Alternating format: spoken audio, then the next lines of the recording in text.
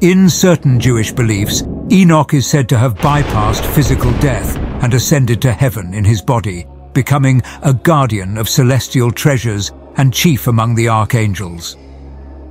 He's attributed with profound knowledge, guiding souls to joy and known by titles like Prince of God's Face and Prince of Wisdom. Additionally, he's said to have relayed God's messages to Moses. Similarly, Elijah is also said to have skipped death and ascended to heaven, becoming a hybrid being, part man, part angel. However, due to his physical form, he's unable to fly as swiftly as other angels. That's a downer. What I am saying, dear brothers and sisters, is that our physical bodies cannot inherit the kingdom of God. These dying bodies cannot inherit what will last forever. 1 Corinthians 15 verse 50. Before we move forward, we'd appreciate it if you could subscribe to our channel. Subscribing to our channel ensures you won't miss out on any of our future content. We also value your input, so feel free to share your thoughts, ideas and suggestions in the comments section. Your feedback not only helps us improve, but also fosters a sense of community among our viewers. Thank you for your support and we look forward to hearing from you. So, where did Enoch and Elijah go since flesh and blood cannot enter heaven? In 1 Chronicles 1 verse 3 and Luke 3 verse 37, Enoch is merely mentioned in genealogical lists without providing additional details. Jude 14 refers to Enoch as a prophet in the context of a prophecy. However, Hebrews 11 verse 5 offers significant insights into Enoch's life. By faith, Enoch was taken up so that he would not see death. And he was not found because God took him up. For he obtained the witness that before his being taken up, he was pleasing to God. Hebrews 11 verse 5. The Greek term used for taken up implies a significant relocation from one place to another, suggesting a departure. Therefore, Enoch was abruptly snatched up from earth to heaven, and notably, the text states that he did not see death. However, a straightforward reading of Hebrews 11 verse 13 might suggest that Enoch did indeed experience death. All these died in faith without receiving the promises. Hebrews 11 verse 13. It's crucial to recognize the distinction between the Greek words for death used in Hebrews 11 verse 5 and 11 verse 13. In verse 5, the Greek word for death, thanatos, refers to the process of dying typically due to disease, indicating that Enoch did not undergo this process. Instead, God snatched Enoch's spirit away, implying a sudden and direct transition from earth to heaven. Conversely, in verse 13, the Greek word for died, apothnesko, specifically denotes physical death. This clarifies that while Enoch's mortal body ceased to exist, he did not endure the usual process or suffer the pain associated with dying. It's plausible that someone on Earth buried his body, but it's more likely that God caused his mortal body to simply cease to exist.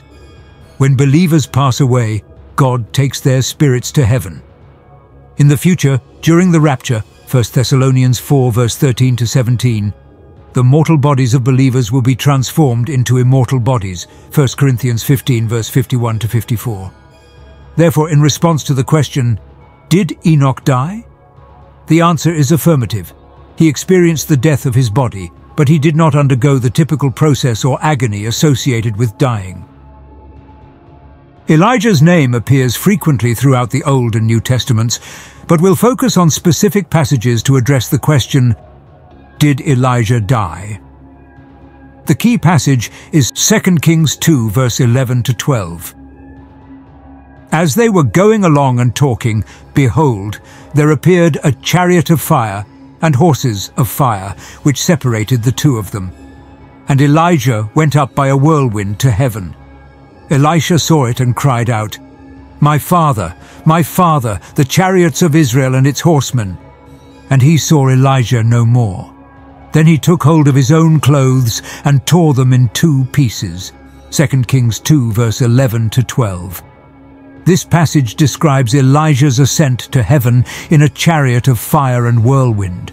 The Hebrew text provides no further details, indicating that Elijah was suddenly taken from Elisha's presence and transported to heaven. Let's make it clearer. 900 years after Elijah's ascent, Jesus stated, No one has ascended up to heaven, but he that came down from heaven, even the Son of Man, which is in heaven. John 3 verse 13. Does this contradict Elijah's experience? If Elijah didn't go to heaven, where did he go? The term heaven is used in the Bible to describe three distinct places. Firstly, it refers to the earth's atmosphere, where birds fly. Genesis 1 verse 20, Jeremiah 4 verse 25, 34 verse 20.